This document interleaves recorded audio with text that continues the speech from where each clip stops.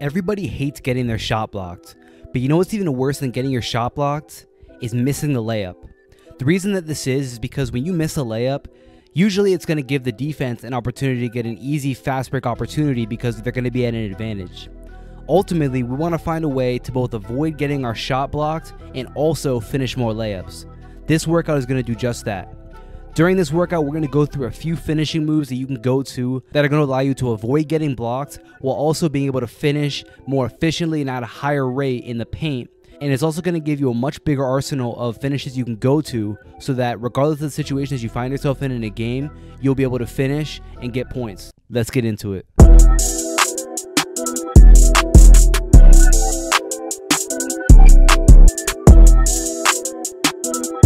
The first type of finish we're going to work on is the veer finish, and this is an essential finish for you to have, especially if you're a guard.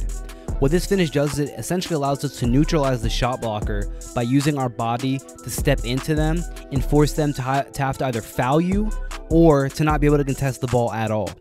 And how you do this is you're going to take this step with your outside foot that's going to propel you into your defender. So that out so when you hit that inside step that's then going to propel you back to the outside okay? So you can see right here i'm going to take that step with my outside foot which is going to push me towards the middle towards my defender.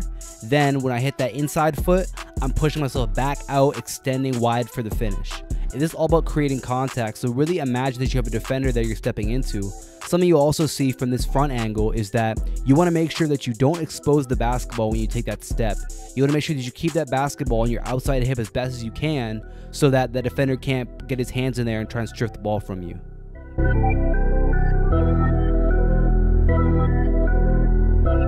Now we're to move on to our two pound between reverse veer finishes. So very similar to the first drill that we did, except this time we're to hit a reverse layup out of this veer finish. So you guys really want to make sure you pay attention to the footwork right here. And again, take that step, truly create that contact with your defender, go up for the finish.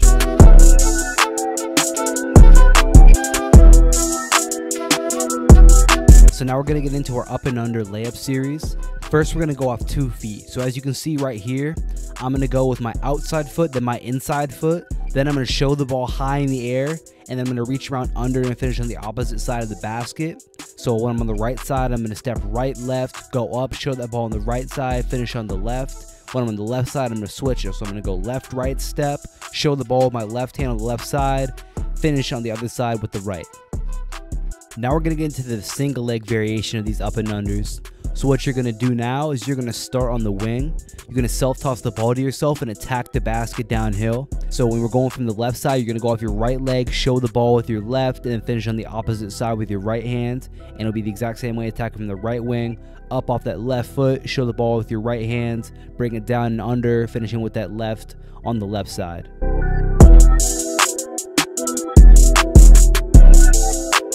A more advanced part of finishing is being able to place the ball high off the backboard so that no potential chase down block can happen. This is a skill that once you're able to develop it, you're gonna be able to use this and you're really gonna be able to control how that ball comes off the backboard and it's gonna give you a lot more freedom around the rim when it comes to finishing at different angles. So what we're gonna do here, we're gonna go with that two pound between the legs into a one dribble, and then we're gonna go off our inside foot, outside hands, high off the backboard, really working on that touch and be creative, work on placing the ball at different positions, but work on getting up to it going game speed.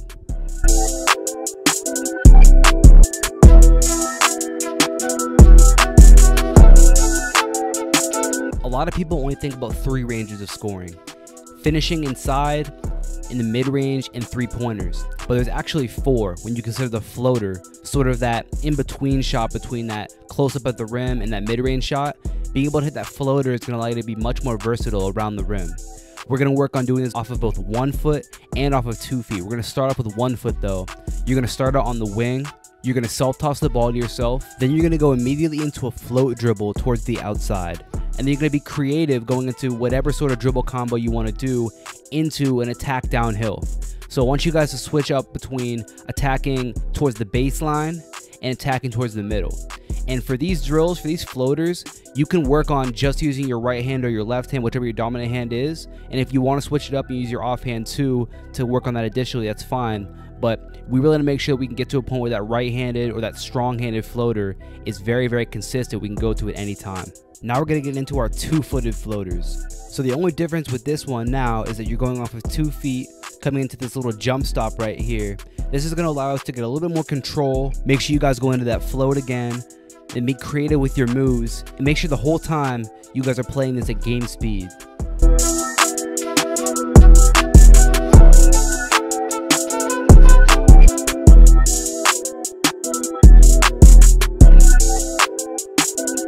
Now we're going to get into our Euro step finishes, which are going to allow us to step around our defender and really use our length to our advantage. So the first variation of the Euro step we're going to go with is the inside foot, outside foot finish. And what you're gonna do is you're gonna self toss the ball to yourself, go into that float towards the outside again, go into whatever sort of creative dribble combo you want, but make sure that you attack towards the middle of the paint. Then what you're gonna do once you get downhill, you're gonna take a step with your right foot, then your left foot, finishing with your left hand on the left side. And when you're on the opposite side, it's gonna be the opposite of that. So you'll see that in the video demonstration. The second variation of the Euro step finish is going to be the outside foot, inside foot Euro step finish. For this one, we're gonna go with that self-toss into that float. Then you're gonna go with whatever dribble combo you want. Then you're going to go and make sure you attack towards the baseline, towards the outside. Then you're gonna take that outside step, inside step for that finish.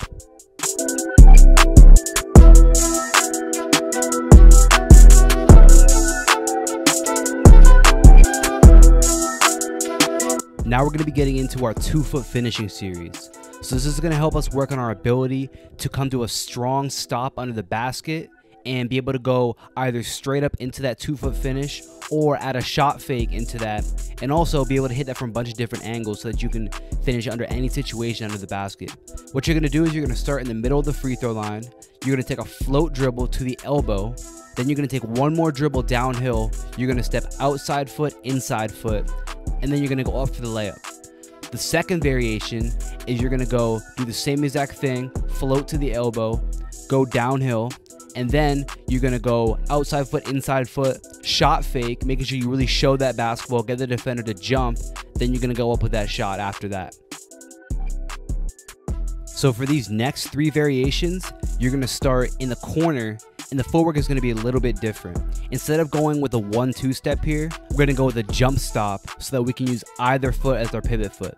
So for the first variation, you're going to self toss the ball to yourself, then you're going to attack downhill, and you're going to go into a jump stop right up into that layup. For the second variation, you're to do the same thing, except this time you're going to come to that jump stop, show the basketball, get the defender to jump, then you're going to go up for the layup. And for the last variation, you're going to attack, come to that jump stop, show the basketball and that shot fake. Then you're going to step with your bottom foot through the other side. So if I'm coming from the right side, I'm going to step with my right foot to the other side of the basket and finish that with that reverse layup. And if I'm on the left side, I'm going to show the ball. Then I'm going to step with my left foot, finish with my left hand on the other side of the basket.